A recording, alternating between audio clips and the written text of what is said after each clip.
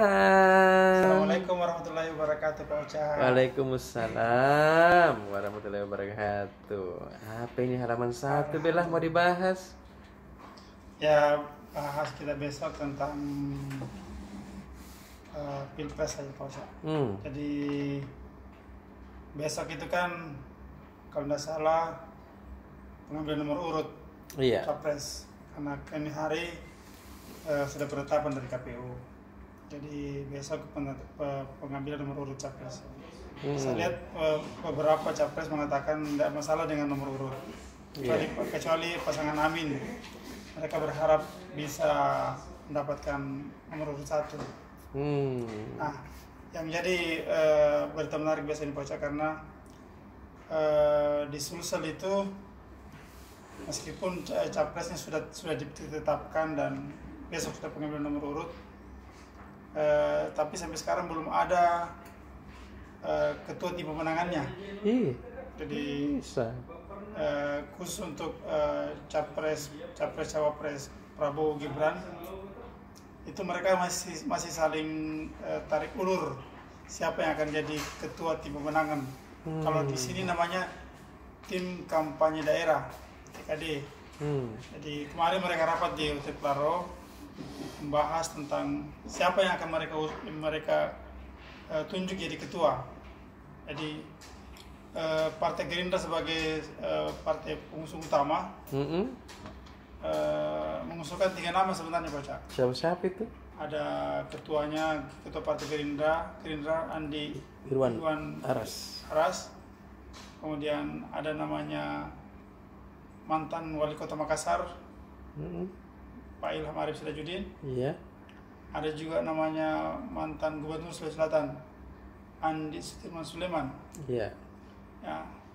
Tapi di Golkar juga sebagai salah satu pengusung berharap juga ketuanya di, di- dipilih Siapa itu? Pak Taufan Pawe. Iya, iya, iya, Ya, iya. alasannya karena Pak Taufan Pawe punya pengalaman Mm-mm. memimpin kota Parepare. Partai partai-partai lain juga mengusulkan Hmm. seperti Partai PAN ya mengusulkan Pak Pak Saul Pak, Pak Saul Kafi Iya. sebagai calon ketua. Eh, Demokrat juga tapi eh, mengusulkan eh, Nimatullah tapi pada dasarnya eh, Demokrat berharap eh, Andi eh, dari Gerindra yang jadi ketua, Iya. jadi ketua. Jadi eh, skemanya itu mereka partai-partai ini mengusulkan nama-nama kemudian nama-nama itu diusulkan ke ke Jakarta ke TKN Mm-mm. kampanye nasional. Nanti dari TKN itu nanti yang memutuskan siapa yang akan jadi ketua. Iya Ya, tahu. jadi begitu mekanismenya.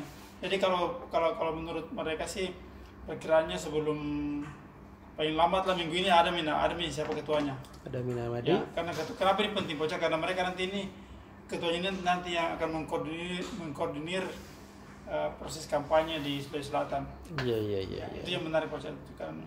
Kemudian berita kedua menurut saya yang yang akan kita angkat besok itu tentang eh, tentang perang Palestina dengan Israel bocah. Iya.